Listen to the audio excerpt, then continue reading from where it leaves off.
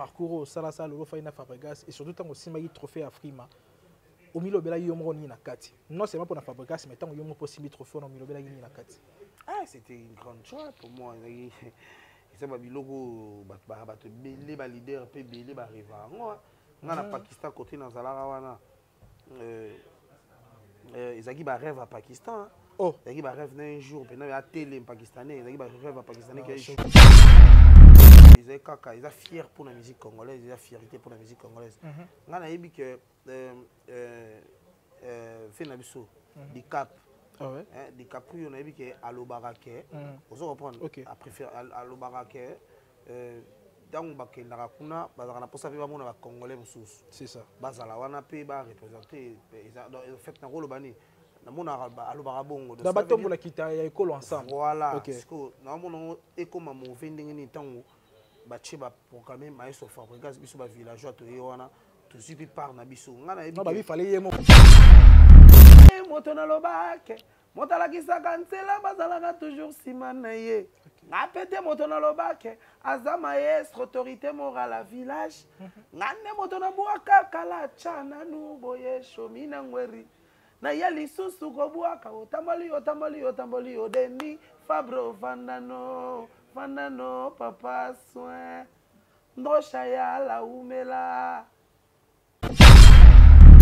pas je sais pas parce que succès pe ezali nango non bon wansi koma botuna ngai alafu nayebi te totuna nani totuna yo to totuna lite ya kanda oh yo tya lite ya kanda na makambo ben oui lite ya kanda aza mpe lite ya kanda yongo boya yesusu lite ya kanda palo yango valide maloba alobaka alobi nini atunaka batunaka ye pakapasha so akutana robinio abi te asili makasi wana maloba lite ya kanda eh. si ah, oza na raison ah, oza na raison mingi ex patron olobi ke non ezalaki barêve na ye on peut dire lelo ntango yo osimbi trophée wana oleki orchestre mobimba wana mais lelo eza fier kaka mpo na bango te donc makambo yo osala eza fierté na bango mais oui eza fierté na bango lelo bango nde baza baza moto abetela tolo sur moi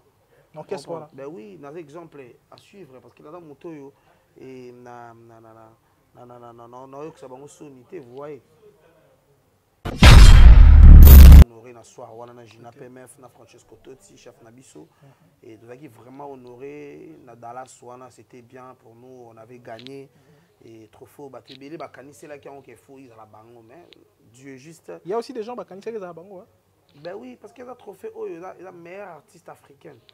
Meilleur, Afrique, meilleur artiste Afrique centrale. Ok. Il a biloko oyo vraiment il a gi yango wana pena gi hegi ba.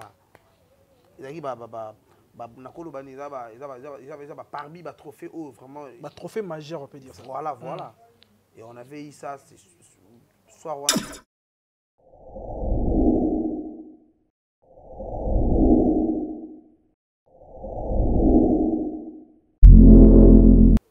Voilà, bonjour tout le monde, bonjour chers internautes, vous qui nous suivez sur Équilibre Télévision, c'est bien moi, les vôtres, Kevin Mohamed Saïdi, ça a toujours été un réel plaisir pour moi de vous savoir tellement nombreux qui nous suivent en ce moment. Merci à nos fidèles partenaires, merci à toutes ces personnes qui nous suivent en ce moment. Merci à Bandeko Nyos Baportaka, mais fort na bango na mosala tosalaka. Merci na Bandeko Nyos Bazo Lembate Kobuka Mabolongo pour que tous la penza en forme liboso pour que topesaka bino mosala ya malamu déjà on est là nous, nous sommes là tokobeta mpena masolo oyo ezali ya mobange na concert oyo ezali présentation ya album ya gomme donc album ya fabregas maestro oyo lelo esali déjà presque 9, 9 à 10 mois au total depuis ebima donc euh, lelo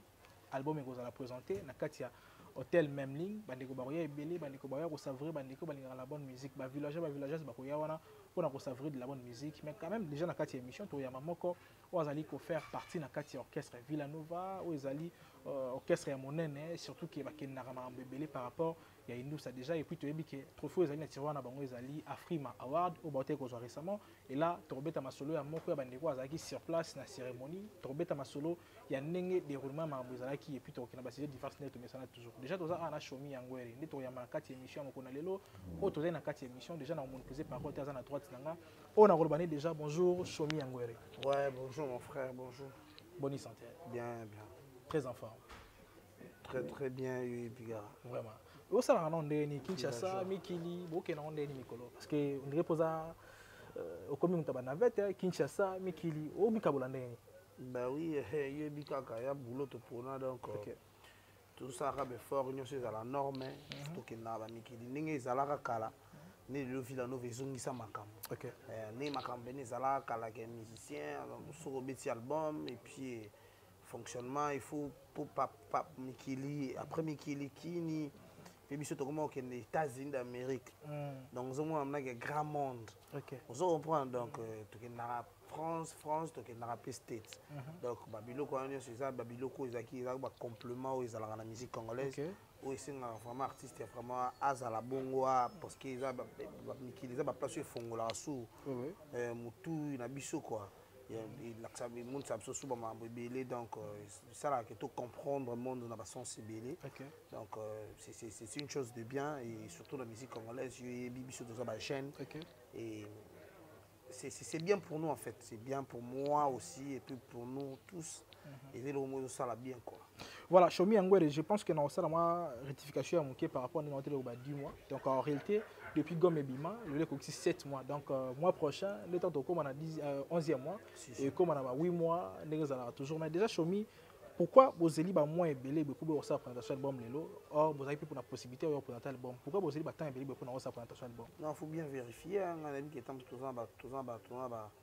parce que ba production wana ezalaki ba production moko simple non que non bo présenter album mais lelo soki bo présenter soki album donc eza concert officiel pour l'album yango na bah oui bah oui okay. bah oui bah oui bah oui donc euh, ngonga nango ekoki okay. ngonga nango ekoki ya ko ya ko présenter siko album okay. na miso ya bato nyonso et puis mm. na miso ya ba grande melomane oyo bayokaka la bonne musique na miso ya bato vraiment balingaka musique na bato mpe bato tout quoi parce que album gomme euh, eza eloko moko eyaki wana mpona koefface baproblème toyaki nango ebele mhm. ya ndenge bamisie bakimaka na poto ya ndenge makambo ebele ebele elekanaki biso na ville anova tokendaki mpe na amérique bamonaki ezalaki de même donc euh,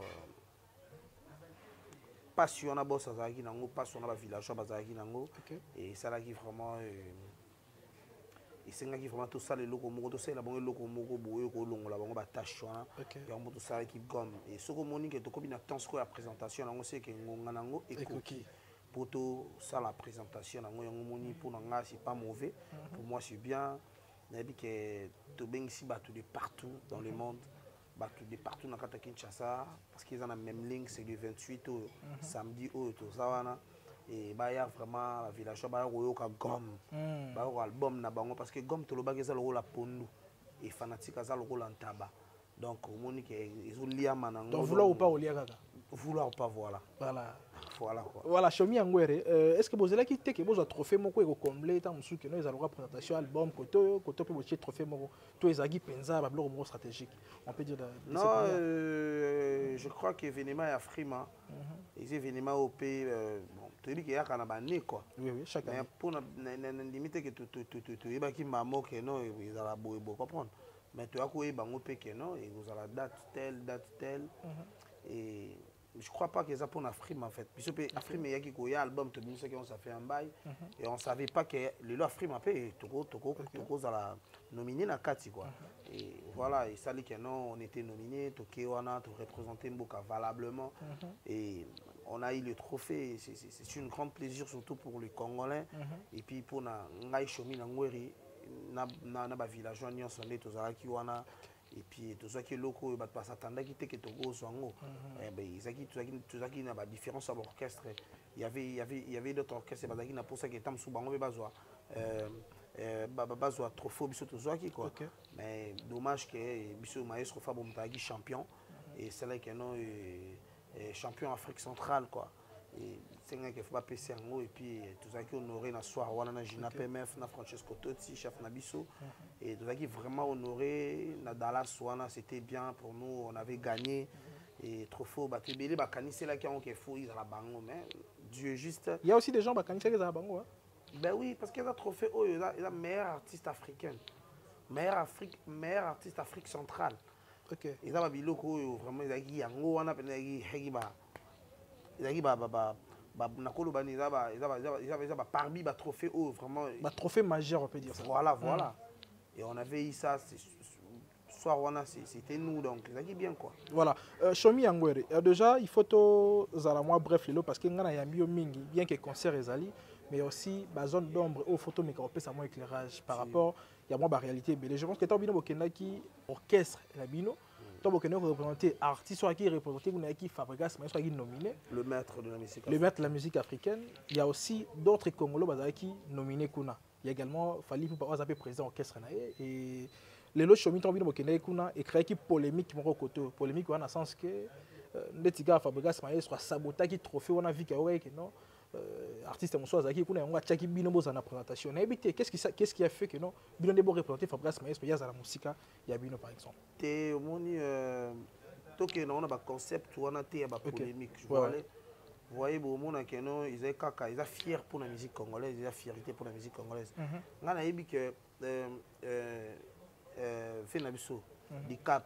ah eh, dicaprio nayebi ke alobaka ke mhm. ozo comprendre apréfère alobaka ke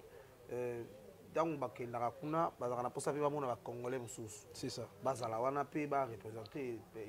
fait nakoloba nini namonaka alobaka bongo na batombola kita ya ekolo ensemble voilà sikoyo naomona yango ekoma move ndenge nini ntango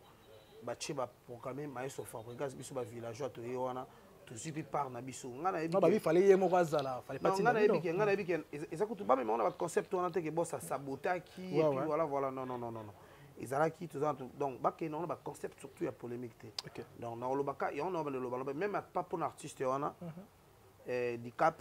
azalaki aza content ke amona ke bafrère na ye congolais bazalaki mpe wana barepresentaki bazwi mpe trophée mhm. ozo comprendre nayebi ke eza eloko esalaki ye mabe te kua mhm. eza eloko esalaki ye bien amona ke bandeko ne mpe bacongolais bayaki baparticipe mpe baganye trophée moko boye oyo ya bien mhm. ozo comprendre donc euh, ye mpe azalaki wana donc eza eloko ya bien mpo na nga naomona ke tokenda wana baconcept wana bapolémique polémique te mpo moni maestro akosabote eloko te ntango omoni mayeso azwi bapilie ne lokola biso bashomi na ngo eriboye azwi gina pmf azwi chef na biso francesco toti e tokomi wana mpo torepresente boss na biso mayeso fabrigas parce que y avait, y, y, y avait des contretemps ti boss azwaka avion parce que azalaki na belgique okay. e azalaki mpe na, na, na showcase moko oyo ezalaki wana ezalaki très important mpe boye déjà e déjà eyaki bacontrat moko ezalaki signé déjà depuis longtemps fallait asala yango okay. oto comprendre epuis ntango akomaki wana ti azwaka avion et puis ti akomaki akomaki amérique donc ezalaki deya akomaki donc ezalaki deya retard evenemi elekaki bon dommage que non e, azalaki vraiment concentré que to aya mpo azwa yango ocomprendre mais e, atiaki biso parce que tozo représente ville anova mhm. moni totambolaka nde de partout et puis e, bos na biso en tout cas nga vraiment kozala na patron motema malamu lokola maestro fabrigas mpo na nga soto bapatron bongo na musique congolaise na biso bakomi 5 en tout cas je vous jure que musique congolaise ekozala makambo ekozwa place lelo ya monene na mboka na biso mpe ekozwa place na bamboka ebele ya libanda parce que aza moto oyo vraiment aza na cœur moko boye ya bien oyo omoni ke nongo lelo eke na baconcept ya polémique oza comprendre mais oyo lelo ke baprésident mosusu akosalaki bolamu wana te ya kopesa biso opportunité wana ya kokende états-unis d'amérique mpona korepresente ye donc omoni baprésident mosusu eza makambo oyo eza mpasi compliqué mpo na bango mamoni mpa maestro eza vraiment eloko moko boyaki nango facile mpo na kosala yango mpo na biso mhm. donc euh, quant à moi nazaka moto ya koremercier d'abord le boss lui même maestro fabricas le patron e aza motu moko aza na cœur moko boye en tout cas nzambe vraiment apambola maestro fabricas kua na nyonso asalaka surtout mpo na biso baartiste na ye omonaka ata président moko aza kaka mpo na ye moko te asala miziki kaka mpo na ye moto asala miziki mpo na kopartage jeunesse mhm. tout le monde azala vraiment euh, tout le monde azala eloko moko ya bien mpo na jeunesse donc euh, c'est quelqu'un de bien mpo na ngai donc euh, mhm. bakeno kuna baconcept wana te voilà mais kolanda ndenge ozoloba ça prouve à suffisance que non lelo oyo loyauté oyo ozolakisa epai ya fabrigas maestro sincérité surtout mais ntango yo moko ofandaka chomi nyangwere baparcours oyo osalasala lelo ofandi na fabrigas et surtout ntango osimbaki trophée ya frima omilobelaki yo moko nini na kati non seulement mpo na fabrigas mais ntango yo moko mpo osimbi trophée wana omilobelaki nini na kati ah c'était une grande joie pour moi eza babiloko oyo bato baa bato ebele baleader mpe ebele bareva yango nga na mm. pakistan kote nazalaka wana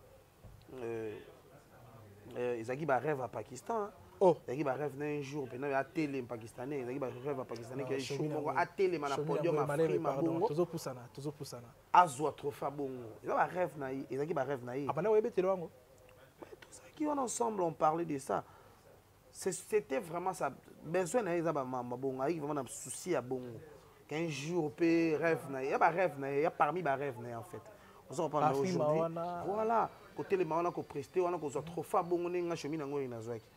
mais aujourd'hui eza grâce monene omonake nga shomi nango eriboye nazalaki wana grâce à patron na ngai maestro fabrigas et puis natelemi na podium wana ya frima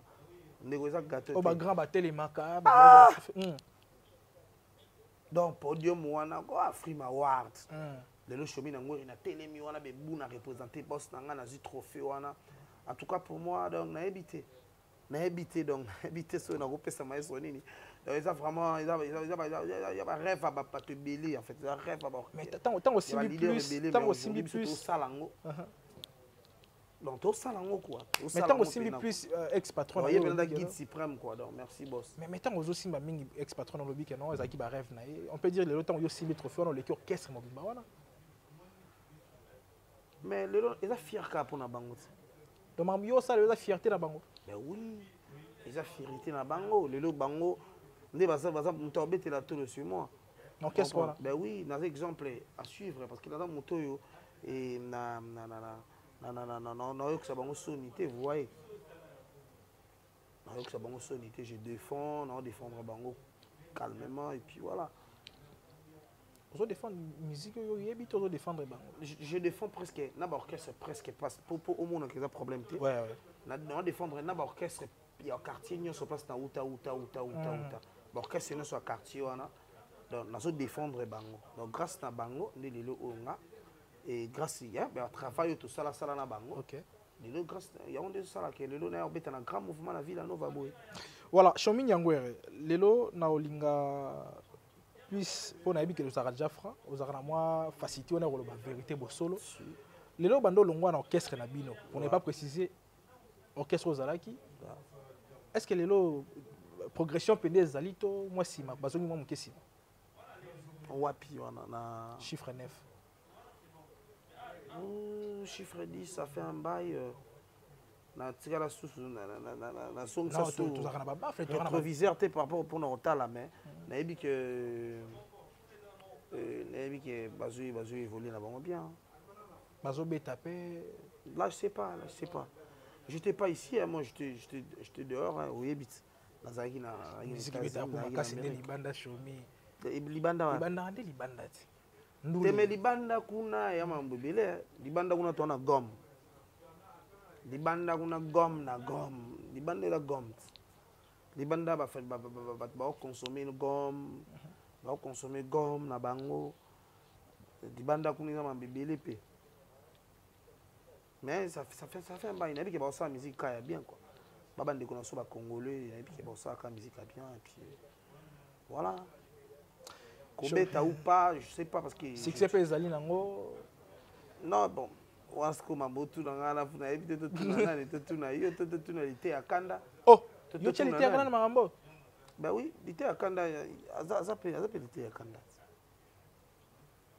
yongo boya yesusu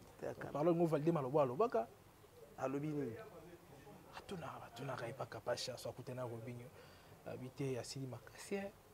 wana maloba lite ya kanda si oza na raison ozala na raison akozala na raison parce que ça fait un bail aussi ça fait vraiment un bail donc eza kaka mamu toolobaka lelo ngai nauti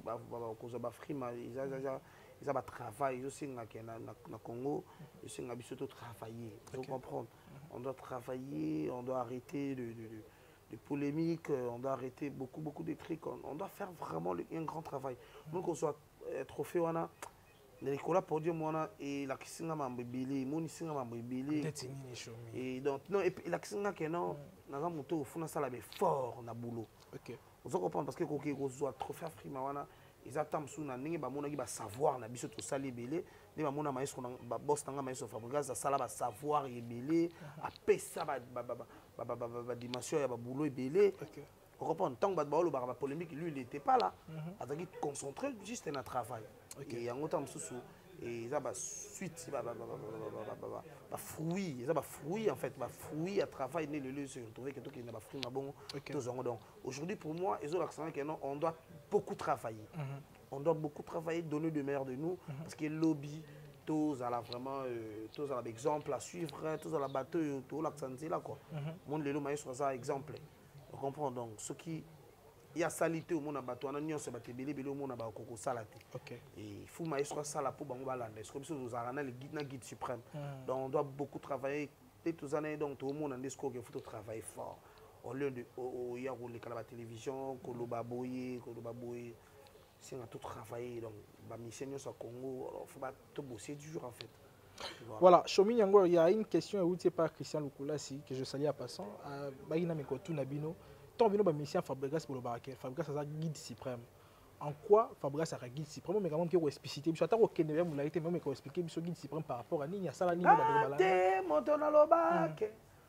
moto alakisaka nzela bazalaka toujours nsima na ye nga pe te moto nalobake aza maestro autorité morale ya village nga nde moto nabwaka kala tya nanu boye shomi na ngweri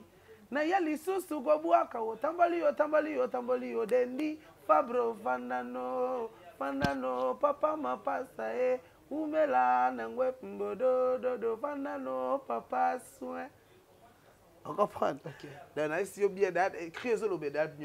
C'est bien moi, votre frère, le pasteur Israël Nash. Je vous salue au nom de Jésus. Je suis précisément à Kinshasa. Dans un responsable, il y a Ophelina. Jésus est mon papa. Naye liboso na bino pour nous représenter bino bana o bozo mona na bilili pe ba difficulté toza nango. Na bandaki musala o ça fait longtemps ya kobokola bana selon ainsi dit l'Éternel. Mais ba difficulté eza mingi difficulté ya loyer parce que tozo futela et puis difficulté ya kofutela bana minerval mpo tozwi tobandaki topesaki avance mais etikali ndambo nazobanga ke bana oyo bakata classe bakoma nango na suka te c'est pour cela dieu m'a mis au cœur na lance message oyo na bato nyonso ya motema malamu basunga bana oyo bozomona na bilili bana oyo bozomona na bilili ndambo nazwi na rond point ngaba ndambo victoire ndambo limete epuis ndambo leta apesi ngai mpona bandeko na ngai nyonso bacongolais boyebi barealité nini topase na yango na mboka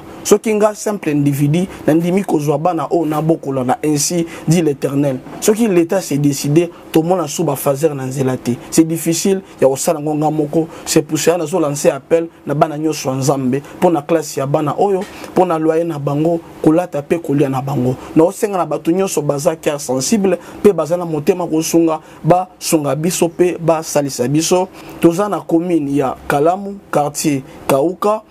référence ya monene tokangami na université kimbangiste aveni nkombo na yango eza marin numero 16 numero ya telefone na biso mpo na bato balingi bacontacte biso mpo na badetail mosusu eza plus 243 89 72 32 229 nzambe apambola bato nyonso oyo bakoassiste biso merci beaucoup mbote mbote bandeko eza lisusu ngai mama mika la cosmetologue réparatrice ya loposo comme toujours nayelaka bino baproduit naturel fete à base ya bafruit sans hydroquinone ya lelo ya sika eye mafuta ya bana lait de beauté mika bebe en tout cas ezali de 0 à 12 ans esala bana na bino kitoko makasi je vous assure bosepela nango ezobongisa po ya bana ezorendre yango lise propre très agréable ezala bana mwana bimaka bambuma na nzoto ba, ba, ba mapalata bamakodia banini en tout cas ezosoigne mpo ya bana kitoko makasi mama mika amemeli bino lisusu bandeko pomade na biso vimbovi pomade oyo ezali pomade raffermissante mpo na mabele basin epuis bassin na bamole en tout cas ezovimbisa makasi bandeko bosala bacommande bopase bacommande na bino bokosepela na yango makasi nzoto yaya papa mama tobongisa yango kaka tozali na pomade na biso ya suki e bato oyo suki ekatanaka pambapamba bato oyo suki ezalaka pepele bato bazala na mabandi solution yango eye baproduit très naturel toza na pomade ya suki toza na huile ya suki huile oyo ezosunga bato bazala na basalite na bacuire chevelire na bango bapoussière baloto oyokaka mokusa yo so bayoka yango soki okoma mal à l'aise solution yango eye huile na biso huile cheveux mika ekosunga biso makasi toza na pomade oyo ezovimbisa suki suki ekoma noir ekoma kitoko bandeko boya ebele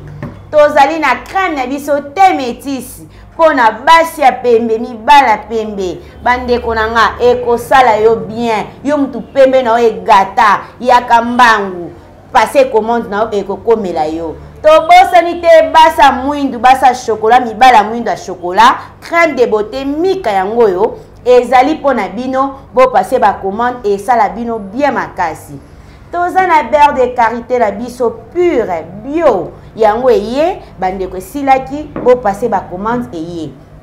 toza na crème réparatrice mika mpo na bato ya problème ya tampon cancer de peau barougeâtre banoir nduta solution yango eye boya ebele toza na pomade antisola mapeka na deux jours apamba sola mapeka esili boya ebele toza na gommage café mpo na kogoma elongi oza na pomade mabouton graisse bokima lombango gommage yango ye toza na savon noir fait à base ya café okozala très à l'aise na douche na yo boya ebele huile d'anana huile d'anana yango naturel en tout cas bokima mbango totika kotya tshoko e totika kotya tshoko bamama bapapa naloba yango heure nyonso tu toa na biso na possibilité nyonso ya koretrouve te na biso normal oui. ezala ebebaki ekomaki ndenge nini nayebisaka mm. bino solution yango oyo solution yango oyo totika kotyaka tshoko bamafuta ezobebisa bato totika hydroquinone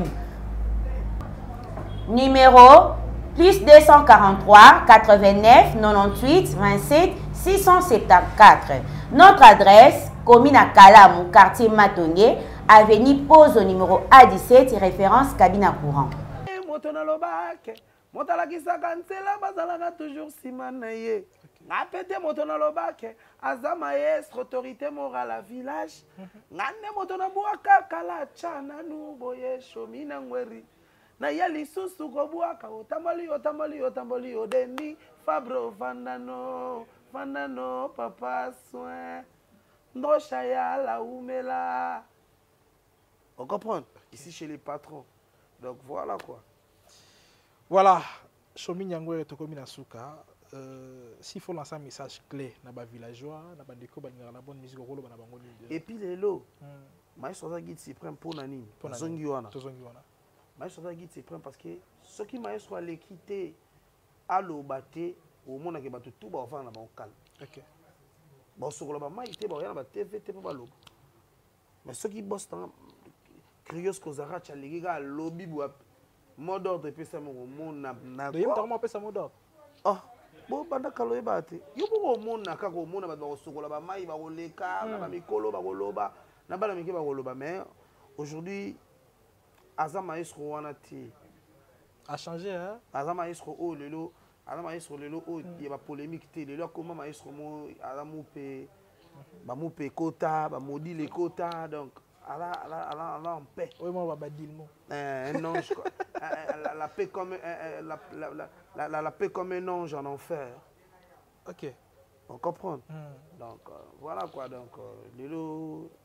c'est un guide suprême de sa génération. Bino sala bino bino boka pa na ye ba poulain na ye. Sala bino vrai soir ye a touti bordier après mais monsieur sala bino pe déranger bino te sala bino bien. Te a tout à bordier te. Ale kaganda lobi makambo eza ya solo. Mona siko batu tellement balingaka makambo solo te. Ah. osokolaka bamai sikoyo bayaka mbongo mbongo epuis ntango bamonaka bazwi bazwi cour hmm. ke apesaka wana badilimo soki apesi dilimo bato hmm. bakoluka balanda bacomprendre mhm. bafongola afongolisaka bato bajournal oyebi kaka bos na nga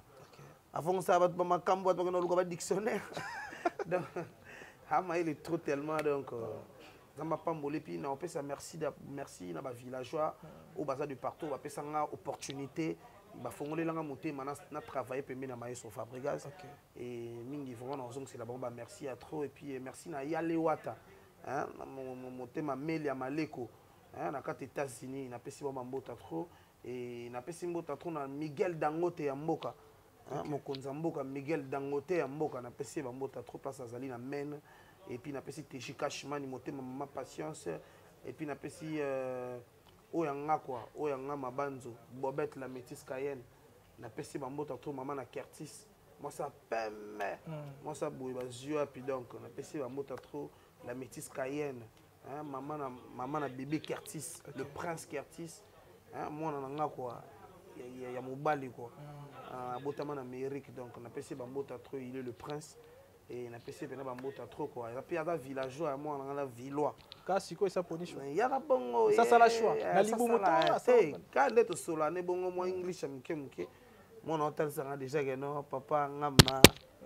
makila so ce tsa mhm. eza village quoi donc okay. voilà quoi voilà chomi yango na bosani te mingi mingi naza na moni place topemi ya kitoko yala mhm. euh, le patron de Chayala na pesi ba mbota trop motema maman Mireille Yala mhm. hein, famille Yala mobimba na pesi ba mbota trop ah tous as chez les patrons et la boîte c'est la boîte efongami eza likolo place mon classe ba patron bayaka okay. eza vraiment très classe donc euh, voilà quoi et nabosani te sere nango dile manzaka mwasi nzambe eh, baplace yango yango oyo olobaki ya koyaka mpena kotyaka basiège ovandi nde toyaka na sayo awa sikoyo na ndenge ya classe na ndenge ya game mosusu e nabosani te euh, mikolo toza na bamineureur tovivre na bamineure na kati ya colosie toza na gelor sabwe gelor sabwe mm. mineureux gentil bogar moko boye mwana bato ya nzambe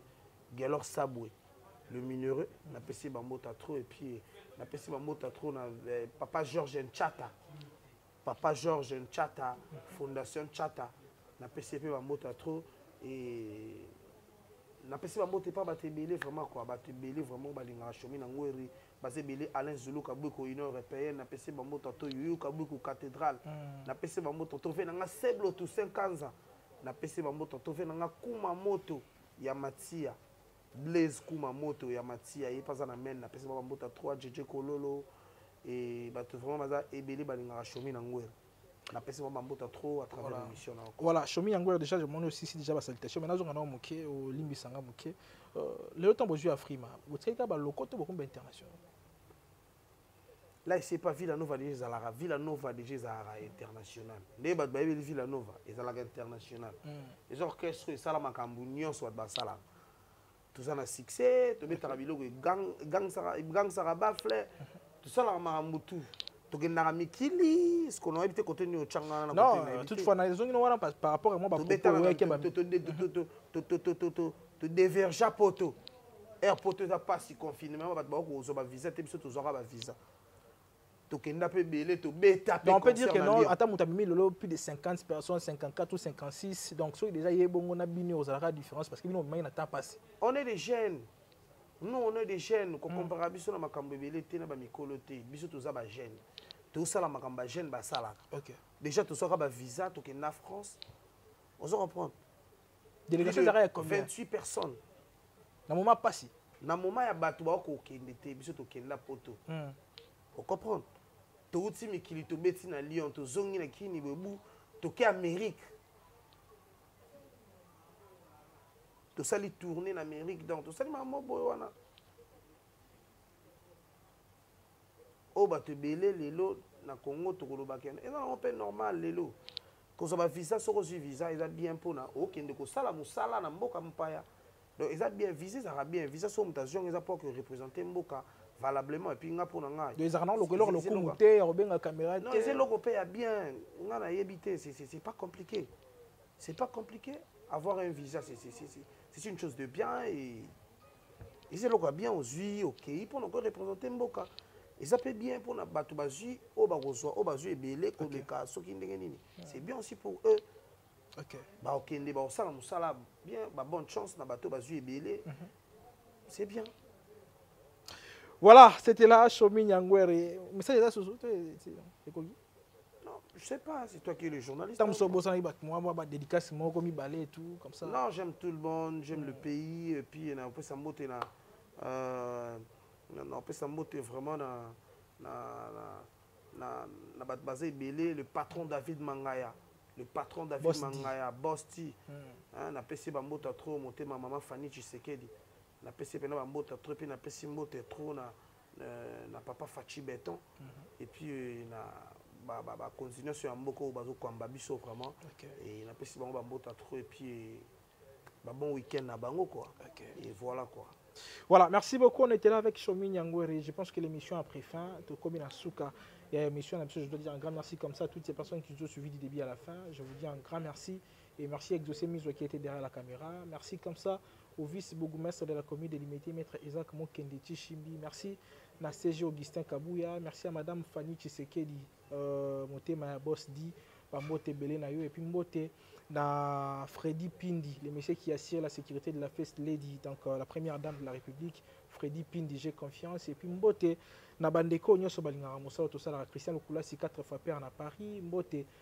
na papi nzeza na paris sam kuku le nécessaire sam kuku le nécessaire bambote ebele na yo epuis mbote